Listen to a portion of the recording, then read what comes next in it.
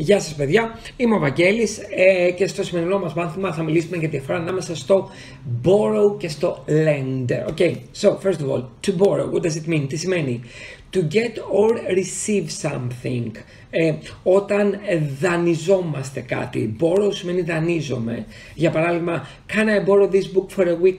Please, ε, μπορώ να, να δανειστώ ε, αυτό το βιβλίο για μια εβδομάδα σε παρακαλώ. Ε, άρα borrow is when I get something from someone, όταν παίρνω κάτι από κάποιον. To lend, to give something to somebody. Δίνω κάτι σε κάποιον, δανείζω οπότε. Άρα borrow δανείζομαι, lend δανείζω. I will lend you this book for a week. Θα σου δανείσω αυτό το βιβλίο για μια εβδομάδα. Εντάξει. Άρα, τελευταία φορά, borrow δανείζομαι, lend δανείζω.